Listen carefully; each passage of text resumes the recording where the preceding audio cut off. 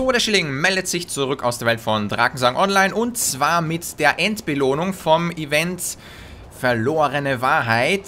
September 2013. Zwei Zugänge zum brennenden Inferno. Das ist diese Zone hier. In der Mitte, wie gehabt, ein Portal. Dieses zerstört man und dann fängt der Kampf an. Den ja, ersten Kampf, wo ich hier schon mal drin war beim vorherigen Event, gibt es in Video 063 in voller Länge. Dieser ist ein wenig gekürzt, denn, oh mein Gott, das waren fast 20 Minuten wieder. Ich glaube irgendwie 18 Minuten in etwa der reine Kampf ohne Vorher und Nachher. Und da ich ja schon mal den vollen Kampf auf Video habe, dachte ich mir, ich probiere mal ein paar Taktiken aus, laufe auch viel herum und schnippel das dann alles ein bisschen zusammen. Hier am Anfang versuche ich folgendes, und zwar, ich habe nach einer Möglichkeit gesucht, wie ich auf das Reittier komme während dem Kampf. Einfach mal hier den Wächter dann am Ende hinstellen, wenn das Portal so 20% seiner Lebenspunkte noch hat und in der Zwischenzeit kann ich auch auf das Reittier um da ein bisschen schneller herumzureiten, aber im Prinzip, ich laufe am Anfang hier sehr viel herum, probiere auch jetzt mit der Gedankenkontrolle und drei Teleports herum, den Sargon zu trennen. Es gibt ja den Glutdämon und den Sargon. Der eine ist hier der Magier, der lustigerweise blocken kann, was der, ich würde mal sagen, Tank, der Sargon ist eher so ein Krieger, was der auf jeden Fall nicht kann und da ein Blitz irgendwie kritisch 7000 mit roten Essenzen, mit Segen mit allem drum und dran. Ich bin da echt voll aufs Ganze gegangen. Und der blockt mir hier die Crits weg. Das ist nicht mehr feierlich. Also echt heftig. Aber das sind so Kämpfe, die hat man nur, keine Ahnung, einmal alle paar Monate. Und die muss man auf jeden Fall auch festhalten. Naja, gut. Am Anfang gelang es mir halbwegs gut, den Sargon hier abzutrennen. Doch dann kamen schon einige Ads hinzu. Die beschwört der Glutdämon immer, wenn er diesen blauen Meteor einsetzt. Dann kommen hier seine Schergen und, naja, dann muss ich auch ein bisschen weiter in den Norden zur Zone und dann brüllt schon der Sargon im Hintergrund. Es ist mir nicht so gut gelungen, diese Gegner zu trennen, sage ich jetzt mal. Noch dazu im Vergleich zum vorherigen Mal, ja, Cyanitschild, ich bedanke mich bei dir. Im Vergleich zum vorherigen Mal war ich ja noch Level 40, jetzt Level 45. Das heißt, diese Zone wird ja vom Level her angepasst. Sprich, die Bosse haben nun auch auf 45 massig Lebenspunkte. Und was ich am Anfang hier noch nicht so begreife oder für wichtig empfinde, diese Schattenbringer, die hier gespawnt werden, heilen auch den Glutdämon immer wieder auf. Ja, ich versuche wieder mit dreimal Teleport den Sargon zu trennen, doch irgendwann, es wird mir einfach zu öde. Oh oh, das war wieder sehr knapp, nicht aufgepasst, auf einmal explodiert er.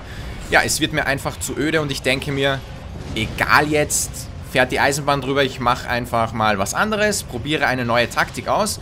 Und zwar die im Kreislaufen-Taktik, aber mit beiden. Und die funktioniert aber erst, naja, beziehungsweise was heißt erst? Die funktioniert nur, wenn man erst beim ersten Sargon ist. Das heißt, der Sargon stirbt und dann kommt sein zweiter, seine zweite Form. Doch in der zweiten Form kann er sich ran teleportieren und dann kann man nicht hier so ganz gemütlich easy cheesy im Kreis herumlaufen, Nö, denn dann springt der Sargon praktisch in Windeseile immer wieder zu mir ran und verursacht Schaden. Also entweder zuerst den Glutdämon und dann den Sargon oder zuerst komplett den Sargon und dann den Glutdämon. Aber so, ja, erst der Sargon mal tot, dann Glutdämon oder so, äh, nö, das funktioniert eher nicht so. Sehr schön, ich habe abgeblockt und trotzdem einen 12.000er Hit kassiert. Oh mein Gott! Das gibt es nicht. Wirklich so viel herumgetan. Ich habe meine Ausrüstung angepasst, dass ich mehr Lebenspunkte habe, dass ich mehr Rüstung besitze. Ich habe sogar eine heftigst neue Kugel, die ich dann nachher noch vorstellen werde. Und trotzdem one-shottet mich der, obwohl ich geblockt habe. Das hasse ich ein wenig und das ist auch ja, keine Ahnung, die Sache, die mich so ein bisschen an diesem ganzen Kampf stört, auch wenn er richtig genial ist an sich. Vor allem auch diese ganze Idee hier, diese diabolische Stimmung in der Hölle die Musik, wenn man da richtig laut aufgedreht hat und am Abend zockt, da kommt schon ein episches Kampfgefühl auf, welches man nicht so häufig in MMORPGs erlebt. Aber eben, wie gesagt, dieses One-Shotten von den Gegnern. Da liegen zwar diese ganzen großen Heilsphären herum, in jeder Ecke von diesen Tortenstücken sozusagen, doch was habe ich davon, wenn ich mit einem Schlag tot bin? 12.000 Schaden, wer soll denn das überleben? Noch dazu abgeblockt. Ja, und das wirft einen dann so ein bisschen aus der Bahn. Da denkt man sich noch so viel aus, wie man denn diesen Kampf meistern könnte. Und dann kommt er hier, fetzt mal eine Singularität raus. Das ist wohlgemerkt physischer Schaden und ich hatte zu diesem Zeitpunkt, glaube ich, sogar einen Rüstungssegen am Laufen. Naja, wie auch immer, damit muss man sich abfinden. So, nachdem der erste Gegner down ist, erhält der zweite, je nachdem, welcher der zweite dann ist, welcher noch lebt, der leuchtet dann plötzlich rot, wird aggro und erhält zusätzlichen Schaden und eine erhöhte Angriffsgeschwindigkeit, was man ja ein kleines bisschen merkt. Den Buff kennt man schon von dem Werwolfsboss zum Beispiel oder den haben einige Bosse. Sobald dieser Sargon aber tot ist, gibt es wieder die normalen Gegner ohne diesen Buff. Ja. Genau, und beim Sterben explodiert die Leiche auch noch dazu. Ich bin noch nie im Radius gestanden, wo eben diese Explosion stattfindet. Aber ich könnte mir schon vorstellen, dass man da auch mit einem Schlag sofort stirbt, wenn man sich eben darin befindet. Das heißt, wenn einer stirbt, dann würde ich das weiter aufsuchen. Ja, die Schattenbringer heilen ihn immer wieder auf. Die habe ich am Anfang gar nicht so bedacht. Deshalb hat es ein bisschen länger gedauert, weil der Glut-Dämon immer wieder aufgeheilt wurde. Aber gut, so, der Loot, den habe ich jetzt verpasst. Habe das aber kurz auch so ein bisschen... Ja, ich probiere viel herum. Jetzt in Slow Motion dann beim Loot. Bisschen größer gemacht. Kann man vielleicht Pause drücken und sich das genauer ansehen und muss nicht nochmal zurückspulen. Genauso wie Verlangsamungen, wenn irgendein heftiger Schlag kommt oder so und dann eben die langweiligen Stellen, wo es echt nur Hit and Run ist, bisschen rausschneiden. Denn ansonsten, wenn ich beide Runs zeige, wären das dann 40 Minuten Gameplay und ja, ich kann auch nicht 40 Minuten... Ich könnte schon, aber das wäre nicht interessant, wenn ich 40 Minuten irgendeinen Schwachsinn über diesen Kampf labere. So, jetzt ist die zweite Form vom Sargon tot und der dritte kommt zugleich. Das ist dann der, der einfach nur herumsteht und mit seinen Feuerbällen wirft. Von den Bällen kann man ruhig getroffen werden, die richten kaum Schaden an. Doch der Meteor kann durchaus tödlich sein und ab jetzt ist es eigentlich schon, naja, abgemachte Sache. Der Kampf ist eingelocht, der Sieg ist sicher. So, der Loot vom Glutdämon, vier grüne, zwei pinke, 100 Kristalle der Wahrheit, ein gesplitterter Diamant und zwei Draken. Sehr mager, sehr, sehr, sehr mager. Diese zwei Gegner können jeweils Emotes dabei haben von vergangenen Events. Die können Begleiter dabei haben, den Kürbis habe ich schon erhalten. Die können Reittiere dabei haben. Alles mögliche. Und ich bekomme 100 Kristalle, zwei Draken und einen Stein. Juhu! Jo, und jetzt, der zweite ist down wieder ganz viel, doch im Endeffekt doch nicht so viel. Drei blaue, zwei pinke, ein legendäres, eine Sprengkugel. Oh mein Gott, eine Sprengkugel. Eine Reiseration nach Kings Hill. Bitte. Weg mit sowas. Ein Emote zum Angriff, das besitze ich bereits. Zwei Steinchen und fünf Draken. Ja, ganz nett. Ich hatte ein bisschen Pech, da kann aber ganz schön nettes Zeugs dabei sein, vor allem wenn man vielleicht vergangene Events verpasst hat.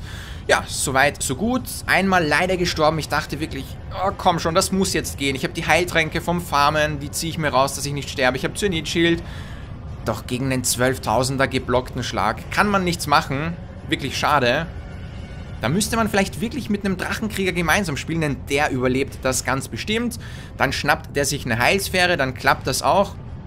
Müsste man schauen, aber naja, das ist nicht so einfach bei so einer Zone, wo man nur einen Versuch hat. Da braucht man schon wirklich ein eingespieltes Team. Und jetzt noch kurz zu meinen neuen Items. Das war's erstmal von dieser Zone. Shilling over and out.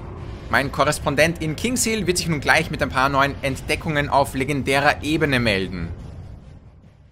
Ja, Dankeschön für diese Überleitung. Ich stehe nun hier in Kingshill und werde die drei legendären Ausrüstungen öffnen, die es beim Event zur Belohnung gab. Leider sind die noch nicht identifiziert, aber 3504 Kristalle der Wahrheit habe ich insgesamt angesammelt nach den Eventbelohnungen und dem ganzen Farmen. Und mit diesen werde ich nun auch etwas öffnen.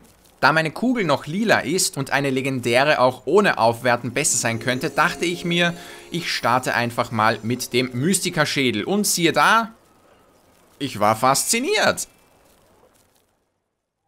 So, das Event geht jetzt noch 2 Stunden und 9 Minuten. Das sind hier die drei legendären Ausrüstungen, die es zur Belohnung gab. Insgesamt noch zusätzlich 250 Dietriche sowie ganz viele Draken am Ende, 140 an der Zahl. So, und das ist jetzt mein Mystiker-Schädel. Leider viermal Blockwertung, aber die Prozente sind ganz in Ordnung. Und meine alte Kugel war auf Level 48 aufgewertet. Das heißt, ich konnte diese einschmelzen und mit den Glyphen dann andere Dinge anstellen. Ich habe nun also praktisch von meiner alten Kugel 50% Blockchance, beziehungsweise eigentlich 49% Blockchance und 60% Blockmenge eingetauscht gegen eben dieses Teil hier 61% Chance auf eine Blockmenge von 53%. Wer jetzt ein bisschen rechnet, der wird bemerken, aha, das ist eigentlich schon besser. Natürlich, noch besser wäre es, wenn statt einer Blockwertung nochmal so 50% Blockmenge dabei wäre. Aber naja, das ist auf jeden Fall, ich kann mich hier gar nicht beklagen. So, wie gesagt, Glyphen kamen etwa 700.000 dabei rum. Die habe ich dann verwendet, um hier einmal den neuen Schädel aufzuwerten. Legendär ist viel teurer als Pink. Und zugleich konnte ich dann auch noch einmal die Waffe steigern. Auf Level 46 hat das ordentlich was gebracht, aber jetzt auf 47 dann nicht mehr so viel. Also von 45 auf 46 waren das 20 Punkte hier in etwa, 3,7 hier. Der Schaden blieb gleich, aber jetzt nur noch die Hälfte bei diesen Verzauberungen. Dann noch hier das Emote zum Angriff. Das war der Loot von diesem Run und eine Kings Hill Reiseration. Vielen Dank für die Blumen. Die 250 Dietriche, einen habe ich noch vom Sammeln. Die anderen öffne ich immer direkt. Genau, und schlussendlich noch mit den verbliebenen Glyphen, die ich dann auch noch zur Verfügung hatte, habe ich mein Finsterherz um zwei Stufen auf 42 aufgewertet. Und meine Finsterschwingen bekamen ein einziges Level-Up. Also von der Rüstung her lohnen sich die Items am meisten, wo keine prozentuellen Verzauberungen drauf sind. Hier zum Beispiel 10% Attack Speed. Dieser wird nicht aufgewertet. Folglich steigert sich hier immer nur der Rüstungswert ganz bedingt. Anders als beispielsweise bei dem Finsterherz, wo schon mal ein hoher Basisrüstwert da ist und ja, da tut sich beim Aufwerten dann natürlich schon ein bisschen mehr. Okay, so viel noch zum Hintergrund, zum Charakter, zum Equipment, wie ich diesen Kampf gemeistert habe. Und dann geht es beim nächsten Mal weiter der Welt von Drakensang Online.